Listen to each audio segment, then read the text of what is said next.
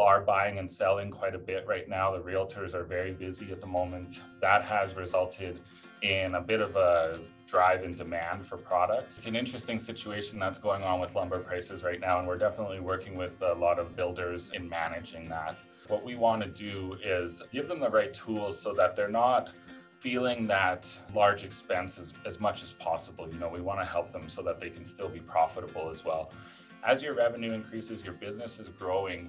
And typically in the construction industry, you're going to see a bit of a lag between the time that you complete the work and the time that you get paid to do the work. So with that gap, there's a bit of a cash flow crunch. You're typically paying your employees, you know, twice a month or once a month. That inventory is turning over ideally every 30, 60 days. We can use those short-term assets to secure what we call an operating line until you are able to collect those accounts receivables. We can definitely provide a variety of different financing. Another one is you've got large pieces of equipment that you have to buy. We can actually provide loans to match the length or that lifetime of that equipment as well. So that way, you know, you're not having to pay all of those costs out of pocket to get that equipment. And that'll help them to weather the higher costs of materials in certain situations. I always recommend to any business owner to get, have, you know, three three key things in place, which would be a good bank, a good accountant, and a good lawyer those different industries should all be working together with the business owner as well to ensure that they're successful.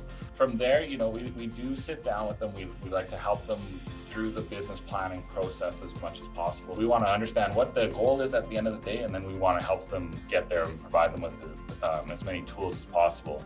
The more information that we have, the better it is because the more tailored that approach can be.